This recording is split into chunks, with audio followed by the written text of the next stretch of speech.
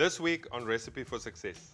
My aspiration was uh, to become a full-time drummer in a band uh, because I played in a band at school.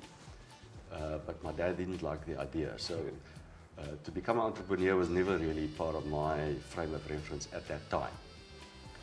Catch it on the home channel, DSTV, channel 176. That's Recipe for Success, proudly brought to you by Samsung.